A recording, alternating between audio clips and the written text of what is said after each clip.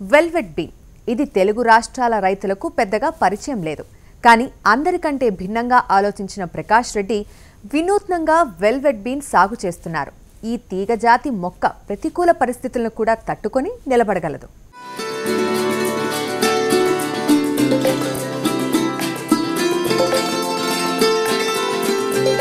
అరటికి తోడు భిన్న రకాల పంటలు సాగు చేస్తున్న ఈ అభ్యుదయ రైతు రెండున్నర ఎకరాల్లో పసుపు ఎకరా విస్తీర్ణం కరివేపాకు ఆరు ఎకరాల్లో వెల్వెట్ బీన్ సాగు చేస్తున్నారు.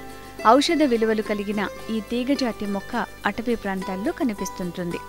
ముకునా ప్రియాంస్ దీని శాస్త్రీయ నామం. దీన్ని సాధారణంగా తెలుగులో బెంగాల్ బీన్ లాక్ నా బీన్ అని వ్యవహరిస్తారు. దీనికి బహుళ ప్రయోజనకారిగా పేరుంది.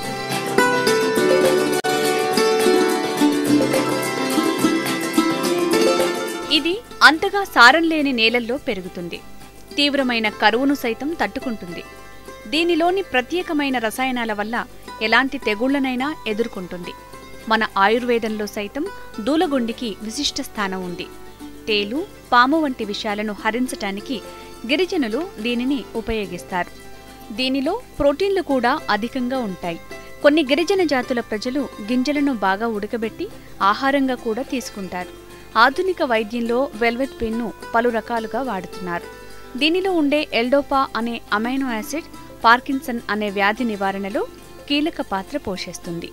నరాలకు సంబంధించిన సమస్యల్లోనూ కీళ్ళ నొప్పుల ఉపశమనానికి ఇంకా పలు రకాల వ్యాధుల నివారణలో వెల్వెట్ బీన్ ఉపయోగిస్తున్నారు. కర్ణాటకలో దీన్ని ఉద్యాన తోటల్లో భూమిని కప్పి ఉంచే ఆచ్ఛాదన పంటగా సాగు చేస్తున్నారు. పప్పుజాతి పంట కావటంతో నత్రజనిని భూమిలో స్థిరీకరిస్తుంది. నలభై ఐదు రోజులకు ఒకసారి కోసి పశుగ్రాసంగా కూడా వాడుకోవచ్చు. క్రాపు దూలగొండ అంటారు అదే ఇంగ్లీష్లో వెల్వెట్ బెయిన్ అంటారు. ఇది నేను మొదటిసారి ఇక్కడ బెంగళూరులో Indian Institute of Horticulture Research Institute ఒకటి ఉంది బెంగళూరులో. వాళ్ళతోటి మాట్లాడుతూ ఉంటే నేను మాట్లాడినప్పుడు ఏంటంటే ఇట్లా మనకి ఏదైనా మల్చింగ్కి అదేవిధంగా ఏదైనా కవర్ క్రాప్కి ఏదైనా ఉన్నదా అని అడిగితే వాళ్ళు దీని గురించి చెప్పడం జరిగింది.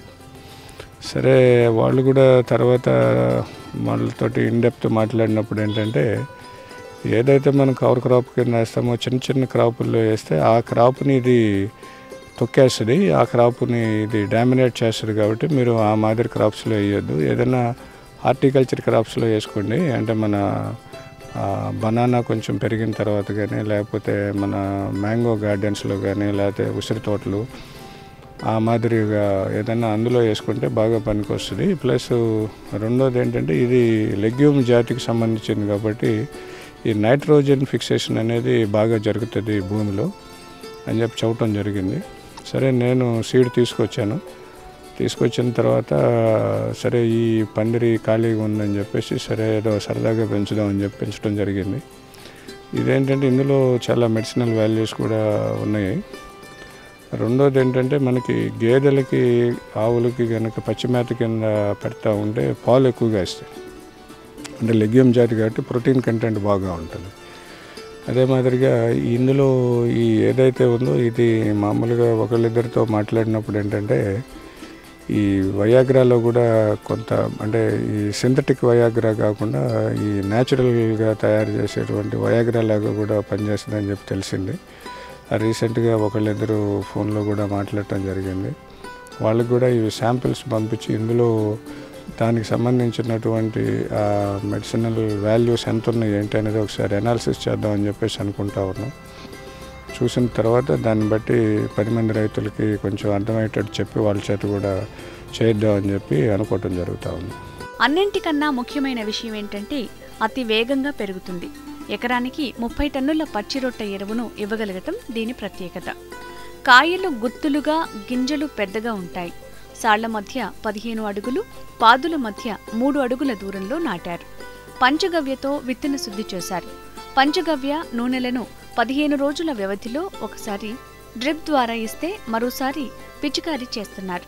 ఇది ఎనిమిది నెలల పంట. విత్తిన మూడు నెలలకు పూత వస్తుంది. నాలుగు నుంచి ఐదు నెలలకు కాయలు వస్తాయి.